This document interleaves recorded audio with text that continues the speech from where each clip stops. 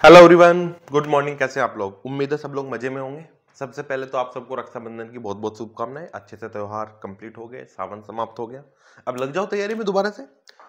ठीक है, ये नया बैच जो स्टार्ट कर रहे हैं यूट्यूब पर ही क्लासेज होंगी फ्री ऑफ़ कॉस्ट होंगे सभी सबसे पहले आईपीसी करेंगे देन उसके बाद जैसे रिक्वायरमेंट होगी, बाकी सभी एक्ट मेन हम फोकस करेंगे, बिहार एपीओ आने वाला है अभी, उत्तराखंड एपीओ आने वाला है। और यूपी एपीओ ये तीन एग्ज़ाम जो एपीओ के आने वाले हैं। बाकी जुडिशरी जो भी आएगा, सब में क्या आएगा? नए वाले एक्ट आने हैं। तो हम उन नए वाले एक्ट को, जो नए एक्ट हैं B N S B N S S B S से तीनों एक्ट को प्रॉपर कवर करते हुए चलेंगे, ताकि आपका कोई भी क्वेश्चन ना छूटे। अब इतना डिटेल में तो नहीं होगा कि आपके मेंस के आंसर लिखवाए जाएँ केस लो लिखवाए जाएँ, लेकिन इंपॉर्टेंट केस भी करेंगे कंसेप्ट पूरी तरह से क्लियर करेंगे। इस तरह से करेंगे ताकि आप डायरेक्ट उठाओ और ये क्लास रीड करो। 20 15 20 मिनट की डेली क्लास होगी, एक क्लास और रिकॉर्डेड क्लास ही होगी अभी कुछ दिन, फिर बाद में लाइव कर देंगे अगर देखते हैं, जैसा भी रहेगा। ठीक है, अगर आपने सिर्फ़ बैरेक्ट और क्लास कर दी तो प्री के क्वेश्चन नहीं बचने वाला कोई भी, आराम से कवर कर लोगे। चलिए, शुरुआत करते हैं, बिना टाइम वेस्ट के, बिल्कुल स्टार्टिंग से कर रहे हैं, कौन सा? बी एन एस भारतीय न्याय संहिता मतलब आईपीसी जो पुराना आईपीसी था हमारा, अब उसकी जगह कौन सा आ गया? भारतीय न्याय संहिता। सबसे पहला क्वेश्चन क्या बनता है? ये एक्ट कब बना था? इनेक्टमेंट कब हुआ? देखो एक्ट जो भी बनते हैं ना, तीन प्रोसेस से गुजरता है। सबसे पहले लोकसभा, राज्यसभा लोकसभा, राज्यसभा? डिपेंड करता है लोकसभा में जा रहा है, राज्यसभा में। दोनों में, दोनों हाउस में पारित होने के बाद तीसरा पॉइंट क्या बनता है? प्रेसिडेंट प्रेसिडेंट के सिग्नेचर हो गए तो वो क्या बन जाता है? हमारा नया एक्ट बन जाता है, एक विधि बन जाता है। पहले वो बिल होता है नॉर्मल बिल जो प्रेजेंट किया ड्राफ्ट है, दोनों हाउसेज में अगर पास हो जाता है, फिर उसके बाद कहाँ जाता है? प्रेसिडेंट के पास। And then sign by the president of India it become the law अब वो विधि बन गया है। अब विधि बना कब था ये? इसकी अगर बात करें कब बना था? ट्वेंटी फिफ्थ दिसंबर 2023 इन्फोर्स कब हो रहा है? इन्फोर्स हो रहा है फ़र्स्ट जुलाई 2024 को। कब इन्फोर्स हुआ है? फ़र्स्ट जुलाई 2024 2024 को ये इन्फोर्स हुआ है। अब बात ये आती है कि ठीक है ये लागू कहाँ कहाँ हुआ है? पूरे इंडिया में है क्या? यस yes, कोई बताना चाहेगा? ये जो एक्ट अब बन रहे हैं ये सब पूरे इंडिया में लागू हो रहे हैं क्योंकि अब जम्मू कश्मीर वाली बात नहीं है।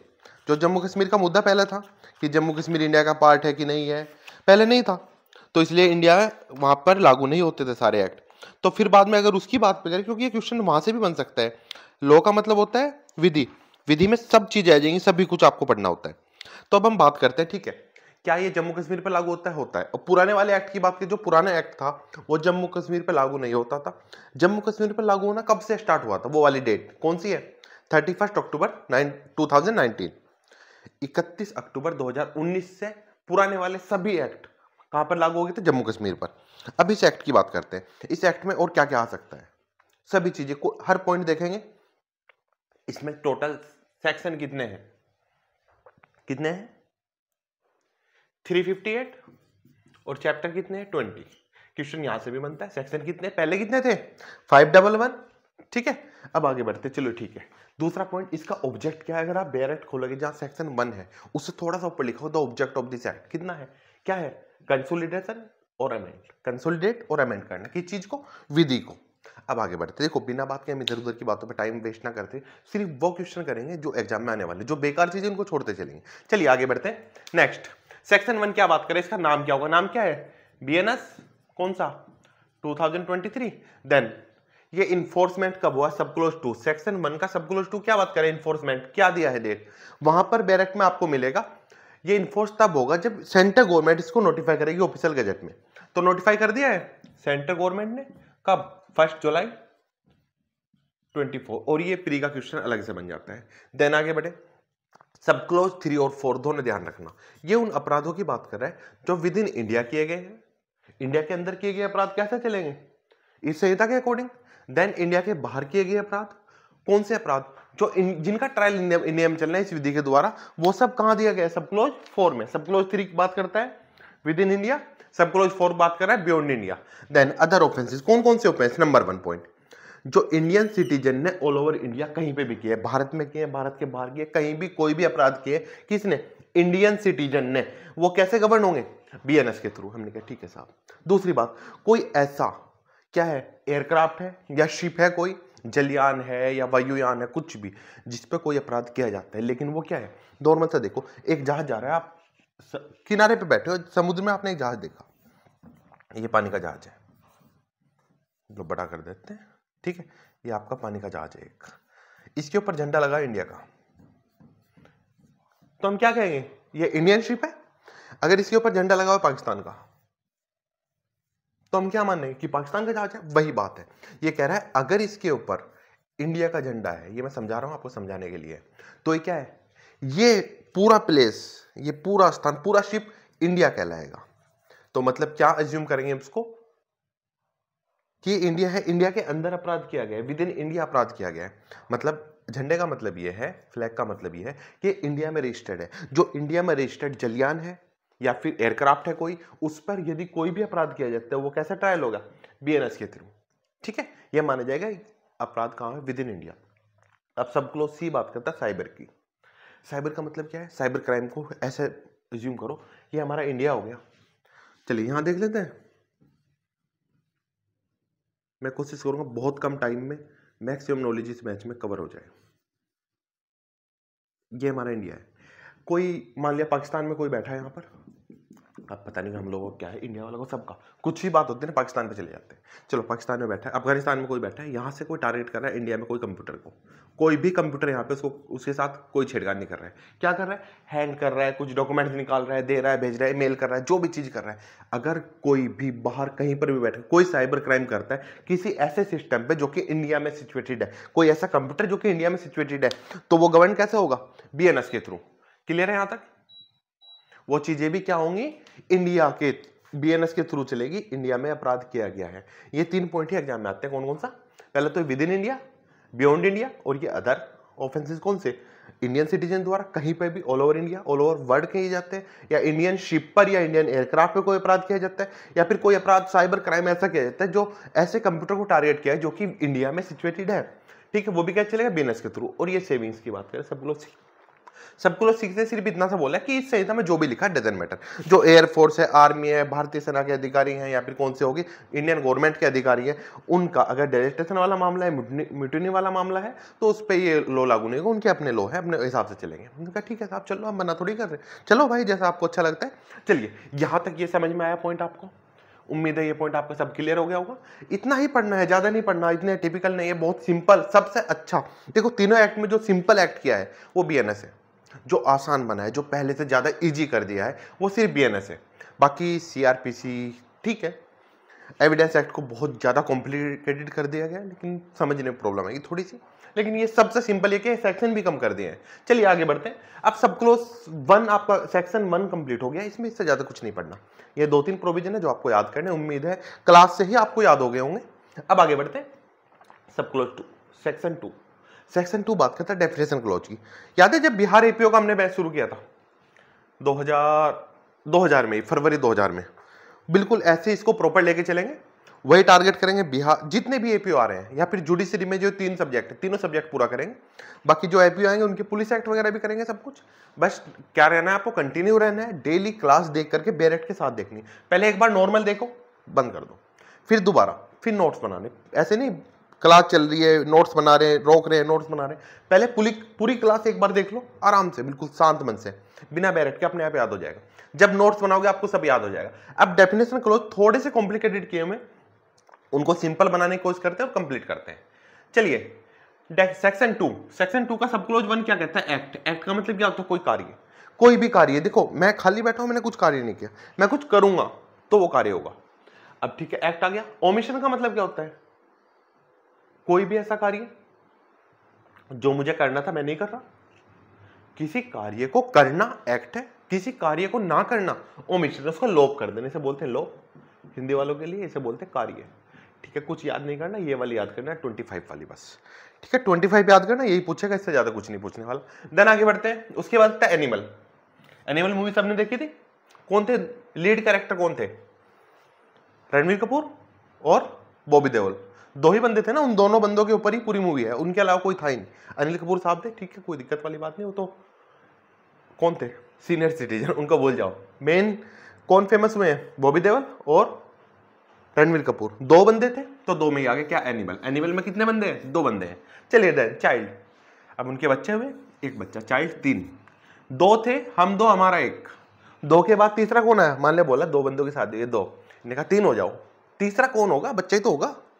है ना? अरमान मलिक की तरह थोड़ी, दूसरी वाइफ आ जाएगी, तीसरी। नहीं आया। तीसरा क्या है बच्चा? अब तीन हो गए तीन में क्या है? चाइल्ड याद रहेगा। चाइल्ड याद रहेगा। अब चाइल्ड की डेफिनेशन अगर आप खोल के देखोगे, वहाँ पर क्या दिया गया है? कितनी एज दी गई? अगर आपने देखा होगा चाइल्ड की डेफिनेशन सब क्लोज थ्री में, ये कह रहा है चाइल्ड कौन सा है? एज ऑफ़ एटीन ईयर्स जो कितना साल है? अट्ठारह साल से कम का है। अठारह साल से कम का बच्चा क्या होगा? बच्चा कहलाएगा। हमने कहा, ठीक है। अब बच्चा तो है भाई, बच्चे का जेंडर क्या होगा? टेन में आ जाओ। दस लोग पूछेंगे, मान लिया दो बंदे थे, शादी की, तीन हो गए। तीसरा क्या है बच्चा? अब ठीक है बच्चा है। अब दस लोग पूछेंगे, भाई, क्या है इसका जेंडर क्या है? दस लोग पूछते हैं, भाई, क्या हुआ है? लड़का हुआ है लड़की हुई तो इसने कहा, देखो भाई, तीन तरह के जेंडर होते हैं हमारे यहाँ। एक होगा मेल एक होगा फीमेल देन होगा ट्रांसजेंडर अब ट्रांसजेंडर की बात है, ये ध्यान से सुनना। क्या क्या तीन तरह के जेंडर होंगे इंडिया में? कौन कौन से? हैं मेल फीमेल एंड ट्रांसजेंडर दो लोगों की शादी हुई, तीसरा बच्चा हुआ, तीसरे बच्चे के बारे में दस लोगों ने पूछा, क्या सेक्शन टू टेन में है, इसलिए बता रहा हूँ मैं दस। याद हो जाएगी डेफिनेशन साथ साथ अगर आपका दिमाग क्लास में रहा तो। चलिए आगे बढ़ते हैं। जेंडर के बारे में क्या बोला? Male, female and transgender. Male के बारे में बात करें। मेल 19 में दिया हुआ है। मैन मैन कौन सा होता है? किसी भी उम्र का पुरुष। डजेंट मैटर उसकी एज क्या है। मेल कहाँ दिया गया है?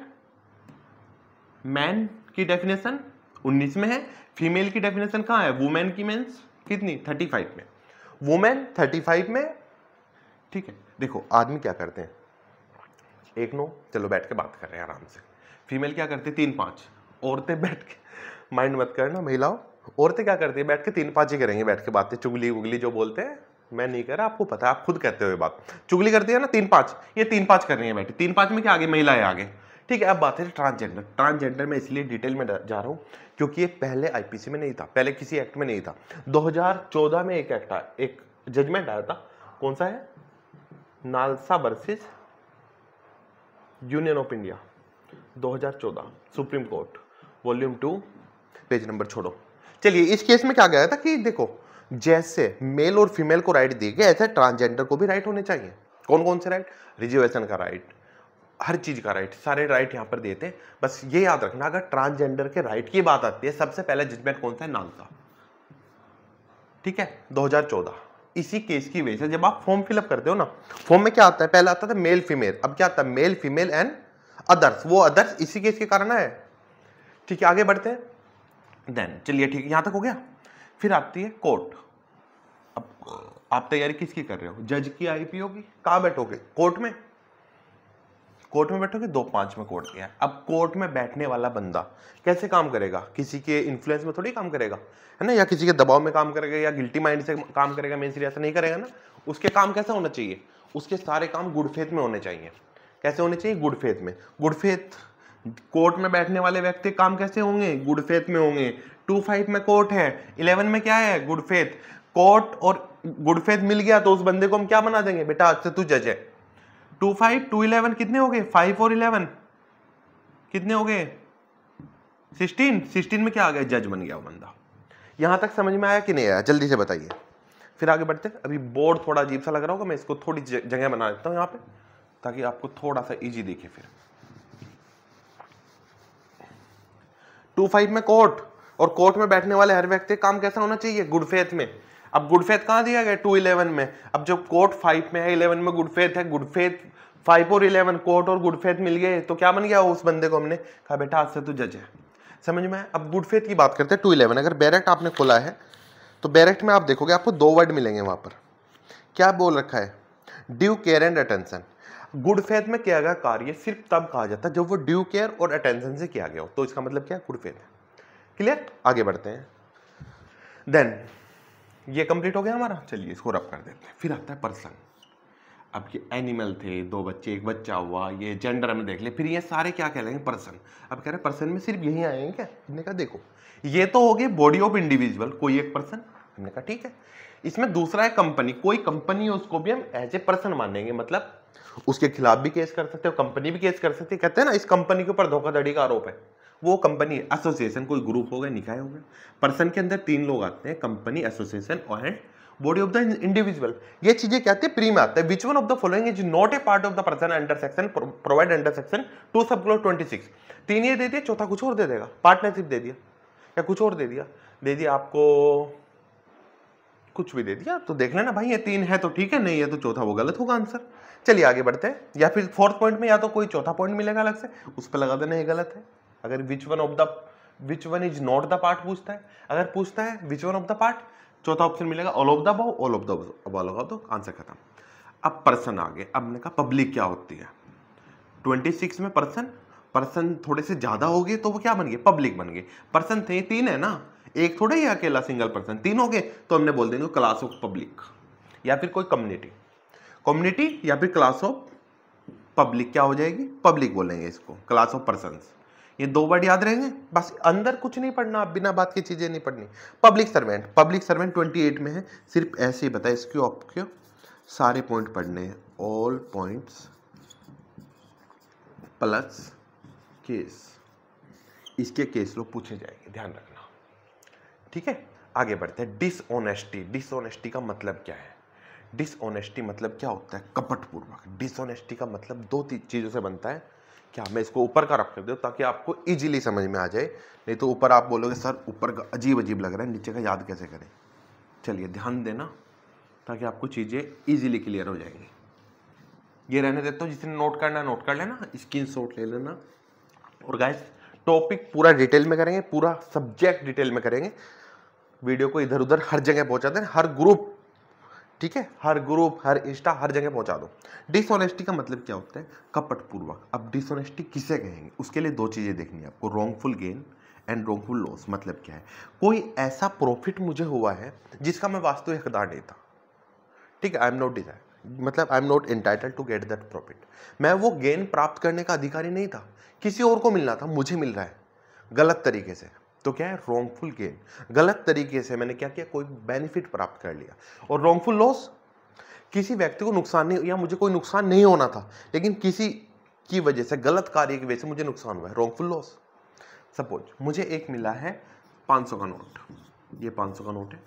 ये मिला देखो, बहुत बड़ा सा हो गया, ऐसे ये लंबे है अब नोट ये 500 का नोट मिला है। अब ये मुझे पता है रमेश को देना है। किसी ने मुझे दिया, रमेश को नोट दे देना। मैंने अपनी जेब में डाल दिया। मैं उसका हकदार नहीं था ना? लेकिन मैंने अपनी जेब में डाला तो मैं क्या हो गया? एंटाइटल होगा उसके लिए। ये मुझे प्रॉफिट हुआ है गेन हुआ है, लेकिन कैसा गलत तरीके से रॉन्गफुल गेन और जिस व्यक्ति को मिलना था, उसे मैंने नहीं दिया। तो वो तो हकदार था ना उस प्रॉफिट का, वो उस गेन का हकदार नहीं था। सॉरी उस लॉस का हकदार नहीं था, जो लॉस उसको पहुँचा है किससे? मेरे कार्य की वजह से। तो उसे क्या मिला है? रॉन्गफुल लॉस और ये दोनों कार्य जब होते हैं तो क्या कहलाता है? डिसऑन डिसऑनेस्टी मेरा कार्य कैसा था? जिस कार्य से एक व्यक्ति को सदोष लाभ हुआ है, दूसरे को सदोष हानि तो उसे क्या बोलेंगे? डिसऑनेस्टली इंटेंशन मेरी इंटेंशन कैसी थी? जैसे चोरी का मामला आ गया एक्सटोर्सन आ गया, ठीक है? रोबरी आ गया, लूट आ गया, ठीक है? क्रिमिनल बीच ऑफ़ टेस्ट आ गया, ये सारी चीज़ें आ गई। ये सब डिसऑनेस्टली इंटेंशन से ही किए जाते हैं। जैसे रिश्ती है ठीक है? रिश्ती मतलब मिसचीफ मिसचीफ में क्या होता है? एक पेन था किसी का, मैंने तोड़ दिया। मेरा कोई फ़ायदा नहीं है दूसरे को नुकसान हुआ है। तो वहाँ पे सिर्फ़ ये हो रहा है। ये नहीं हुआ है रॉन्गफुल सॉरी रॉन्गफुल लॉस हुआ है रॉन्गफुल प्रॉफिट नहीं हुआ मुझे रॉन्गफुल गेन नहीं हुआ है मुझे, लेकिन किसी बंदे को रॉन्गफुल लॉस हुआ। तो वो क्या है? मिसचीप है, रिश्ती है। क्योंकि यहाँ पर हम ये नहीं कह सकते, रिश्ती में देखा जब डेफिनेशन पढ़ोगे आप, पढ़ेंगे, हम तो सारी चीज़ें डिटेल में करने वाले हैं। अभी आप देखोगे तो रिश्ती में आपको क्या मिलेगा? डिसऑनेस्टी इंटेंशन नहीं मिलेगा वहाँ पर। क्यों? क्योंकि वहाँ पर एक को प्रॉफिट होगा, एक को लॉस होगा, तभी हम क्या बोलेंगे? डिसऑनेस्टी इंटेंशन है। डिसऑनेस्टी इंटेंशन कब बोलेंगे? जब एक को प्रॉफिट एक को लॉस लेकिन मिस्टीप या रिश्ती में क्या हो रहा है? नहीं हो रहा ना, सिर्फ़ लॉस लॉस हो रहा है। तो इसलिए नहीं बोला। तो ये छोटे छोटे वर्ड है ना, इसलिए बताए गए हैं। क्योंकि अगर आप केस लड़ रहे हो नॉर्मल सा केस है तो वहाँ पे डिसऑनेस्टी इंटेंशन दे रखा है चोरी के लिए। चलो ठीक है। लेकिन जिस कार्य के लिए आपको लाइबल बनाया गया, आपके क्लाइंट को लाइबल बनाया गया, चोरी के लिए बनाया गया, लेकिन वहाँ पर किसी व्यक्ति को लॉस ही नहीं हो रहा है। आपको प्रॉफिट हो रहा है, दूसरे को लॉस नहीं हो रहा है, किसी भी तरह से। या फिर किसी को लॉस हो रहा है, आपको प्रॉफिट हो ही नहीं रहा किसी भी तरह से। तो वो चोरी है ही नहीं। डिसऑनेस्टी इंटेंशन नहीं होगी तो चोरी नहीं होगा वो। जिस डेफिनेशन में जो जो वर्ड दिए गए वो एक एक वर्ड आपको पढ़ना है। ठीक है, चलिए आगे बढ़ते हैं। रॉन्गफुल गेन कहाँ दिया गया है? ट्वेंटी सिक्स में? रॉन्गफुल लॉस कहाँ दिया? 27 में। और दोनों कार्य मिलकर क्या बनेंगे? 28 ये डेफिनेशन क्लोज याद करने का थोड़ा सा मेरा कंसेप्ट है, जो आपको बहुत ज़्यादा काम आने वाला है। अगर आपका दिमाग क्लास में रहेगा तो। ठीक है गाइस आगे बढ़ते हैं। फिर आता है फ्रोडुलेंटली फ्रोडुलेंटली के लिए सिर्फ़ इतना सा है इंटेंशन टू डिफ्रॉड किसी को डिफ्रॉड करने की इंटेंशन है तो फ्रोडुलेंटली कार्य कहा जाएगा? बस, और कुछ नहीं। नीचे का दिख रहा है? चलो मैं यहाँ लिख देता हूँ। आगे बढ़ते हैं हम। लो की बात करें। लो दो तरह के हैं हमारे पास। कौन सा है? एक तो हमारा हो गया लोकल लो एक हो गया हमारा स्पेशल लॉ लोकल लॉ का मतलब क्या था? पर्टिकुलर एरिया के लिए। पर्टिकुलर एरिया के लिए जो बनाया गया है। स्पेशल लॉ बनाया गया जो पर्टिकुलर किसके लिए? सब्जेक्ट के लिए। जैसे पोक्सो एक्ट है, किसके लिए बनाया गया है? जो बच्चों के साथ सेक्सुअल ऑफेंस हो रहे हैं, उनके लिए। पर्टिकुलर सब्जेक्ट है ना? यूपी के लोकल एक्ट है। यूपी के एरिया के लिए है ना, सिर्फ़ वो? लैंड रिवेन्यू कोड हो गया हमारा म्यूनसिपालिटी एक्ट हो गया अर्बन डेवलपमेंट एक्ट हो गया हमारा। वो सारी चीज़ें क्या है?